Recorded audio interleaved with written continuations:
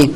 Ikiwa ni sehemu ya mwendelezo wa kushirikisha sekta ya usafirishaji katika kutangaza vivutio vya kiutalii nchini, Bodi ya Utalii Tanzania TTB imeungana na chama cha wamiliki wa mabasi yaendayo mkoani Taboa kuonyesha filamu za kuhamasisha utalii. Tupate taarifa zaidi. Akizungumza katika hafla ya makabidhiano ya filamu hiyo kwenye mabasi katika kituo cha mabasi yaendao mikoani Ubungo, mwenyekiti wa bodi ya TTB jaji mstaafu Thomas Mihayo amesema hakuna namna ya kutenganisha sekta ya utalii na usafirishaji, kwani watalii wengi wanaokwenda kutembelea mbuga za wanyama na vivutio vingine hawapandi ndege, wanatumia barabara.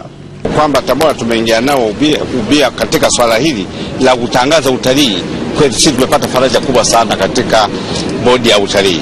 Utalii siyo ya serikali wala ni yetu wote, na wajibu wetu sisi kuitolea huduma kwa nguvu zote, kusudi pato nchi ipate pato na kutohudumia kwa huduma ambazo mbalimbali mbali.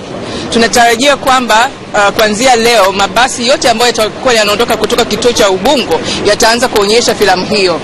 Filamu hii ya dakika 45 inayoitwa Utalii wa Ndani uanze na Mtanzania mwenyewe inataka Mtanzania ndio waeleze wageni uzuri wa nchi.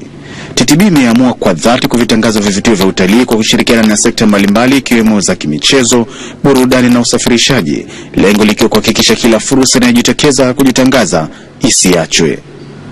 David Ramadhan, Channel 10. Asante David Ramadhani na mbunge